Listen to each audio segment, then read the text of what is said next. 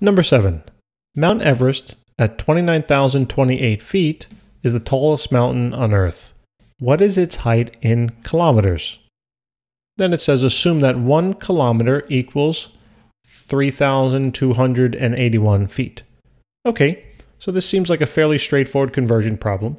Let's write down what we need to do. So we need to convert 29,028 feet into kilometers. And they gave us the conversion factor from kilometers to feet. So this is great. It's just a simple one-step problem. So let's write down what we know. So we know we're starting with 29,028 feet.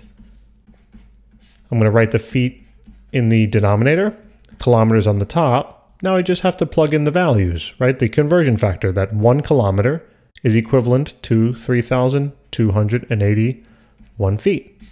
The feet cancel. Now all I need to simply do, take out my handy dandy calculator.